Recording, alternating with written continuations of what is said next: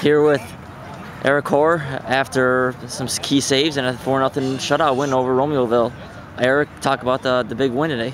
Um, we came out really strong in the first uh, the first half. We went up 3-0. We were able to um, keep it throughout the entire game.